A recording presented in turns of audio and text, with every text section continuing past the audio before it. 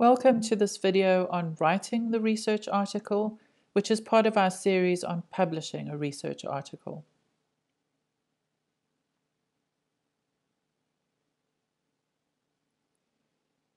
So what I'm going to suggest here is that we break up the writing process into different tasks. And then you can concentrate on specific, tasks. And what this does is that it allows you to unpack the complexity of a paper. And the idea is, is that you start with your initial thoughts and then build until you can integrate sections and, and write the paper as a whole. So the first layer that I would like you to focus on is the problem purpose statement. And this really is foundational because this is the conceptualization of the paper. If you have this clear in your mind, it'll make the paper much easier to write. The next step would be to examine the research article genre in your targeted journal. This means having a look at the different sections, the headings, and what goes into those sections.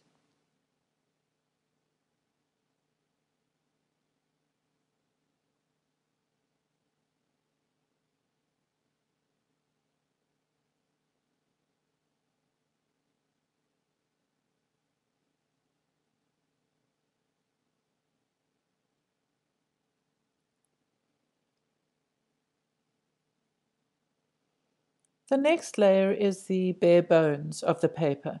This is the what, the what needs to go into this paper. What are the essentials that you need to have in this paper in order for your reader to understand your research? So, what contents, what concepts do you need to explain? What definitions do you need to have in there? What descriptions? So, the what is, is the content really?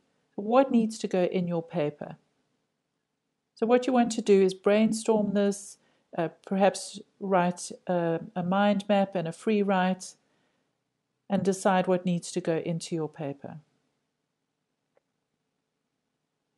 The next layer is the narrative of the paper. And this really is about the story. How do I want to tell the story in this paper? So, although you may have identified the overall structure and you know that you'll have an introduction, and then a, a literature review and a methodology. The narrative is about how you will order each section. What needs to go first? Is there a logic to your research that you need to follow?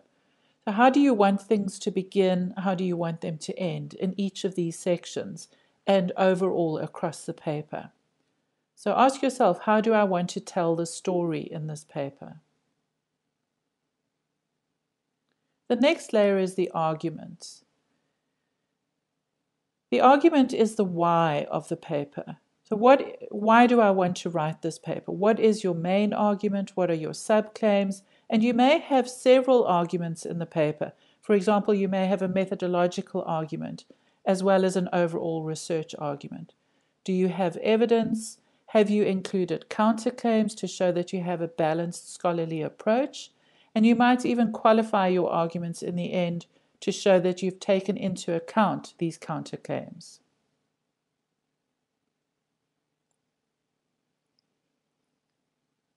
The last layer is the key message, and this is really the focus of your paper. Uh, the key message is the overall message that you want to get across in this piece of writing. So, if someone were to cite your paper, they would say this paper is about and that would be your key message.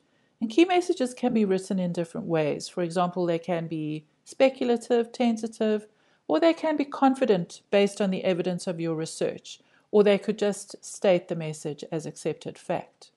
So, again, brainstorm through using mind maps or free writing and work out what your key message is, and then this can become a focus for the whole paper.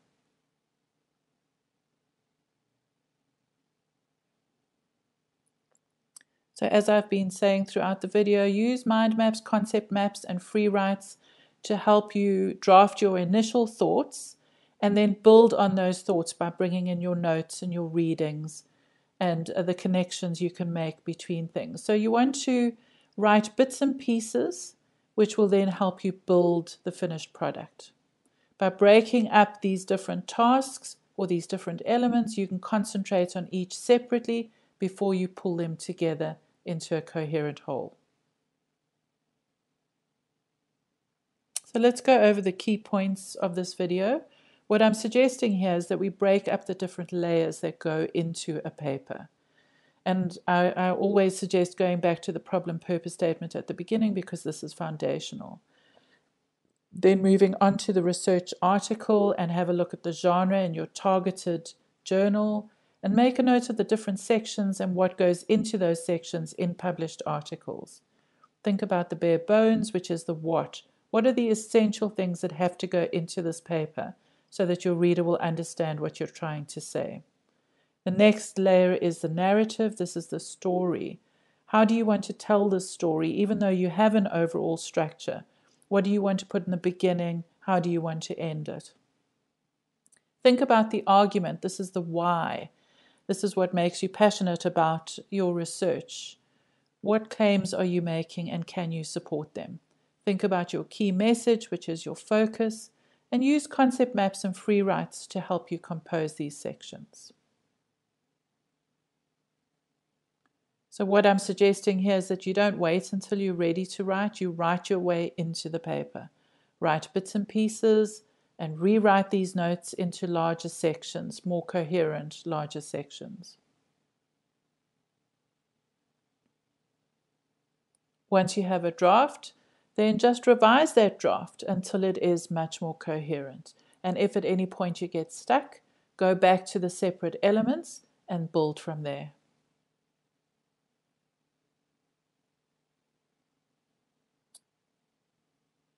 Writing a paper for publication is quite a complex process, so we've provided you with a fair amount of resources here so that you can read further if you want to.